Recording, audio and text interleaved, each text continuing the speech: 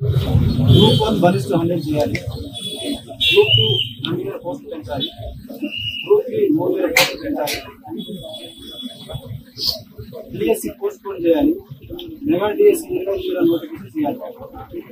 వాళ్ళు ఐదు రెండు లక్షల ఉద్యోగాలు అన్నారు. మేము రెండు లక్షల ఉద్యోగాలు అడగలేదు. ముప్పై వేలు నేను మాట్లాడిన దాని ప్రకారంగా అది ముప్పై వేల ఉద్యోగాలు కూడా లేవు.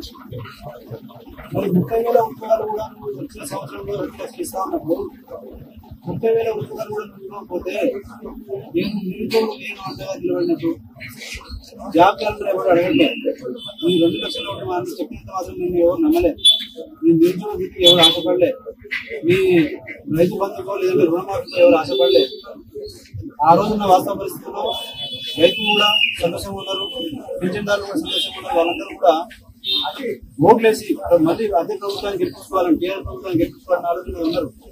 కానీ వీళ్ళ పిల్లల భవిష్యత్తు చూసి మా ముఖాలను చూసి మేము పోయి మా ముఖాన్ని చూసి మా కోసం ఓటేస్తే ప్రభుత్వం మాకు చేసింది ఏంటంటే ఈ ఆమరణ నిరాహార దీక్ష చేసే స్థాయికి తీసుకొచ్చారు. నేను తొమ్మిది రోజులుగా ఓకే పట్టిన నరక యాత్ర చూసిన రేపటి నుంచి ఒక్కొక్క గడియ ప్రభుత్వానికి నేను చేసే పోరాటం ఎట్లా ఉంటుందో నేను చేసి చూపిస్తాను. నాకు మద్దతు ఇచ్చినటువంటి ప్రతి ఒక్క మిత్రులకు రాజకీయ నాయకులకు బీటీ రాజు గారికి ప్రవీణ్ కుమార్ గారికి హరీష్ రావు గారికి కేటీఆర్ గారికి నాగేశ్వరి గారికి ఇటు మన రాజు ఉత్తమ రెడ్డి గారికి పక్క జడ్సన్ అన్న గారికి పృథ్వీ అన్న గారికి సంజీవ్ నాయక్ సేవల సేవల సేన జాతీయ అధ్యక్షుడు సంజీవ్ నాయక్ గారికి సంపత్ అన్న గారికి రాజలింగం అన్న గారికి మిగతా మన రాజాలింగం అన్న దేశ వ్యవస్థాపక అధ్యక్షుడు బీసీ ఆయన అన్నగారికి.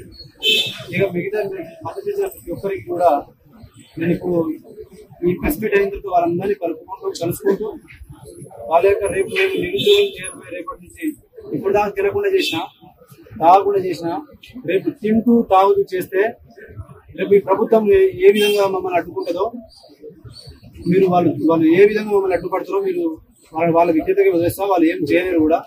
ప్రజాస్వామ్యంగా చేసినప్పుడు ఎవరు ఎవరిని నాకు హక్కుంది. మీకు ఇంకో మరీ ముఖ్యమైన విషయం ఏంటంటే నేను నా ఫోన్ లాక్కుంది. నా ఫోన్ లేదు. మాట్లాడడానికి ఫోన్ లేదు. నా ఫోన్ తీసుకోవడానికి మీకు కారణం మీకు ఏం రీజన్ ఎవరు అసలు మీకు హక్యం ఉంటుంది? నేను యాంటీ సోషల్ ఎలిమెంట్ చేసి ఫోన్ లేకుండా ఎవరిని రానియకుండా ఇదే గాంధీ భవన్ చుట్టూ రెండు రెండు కిలోమీటర్ల చుట్టూ మొత్తం పోలీసులు పెడితే పరామర్శం చేయడానికి నేను ఆ ప్రాసెస్ చచ్చిపోలేదు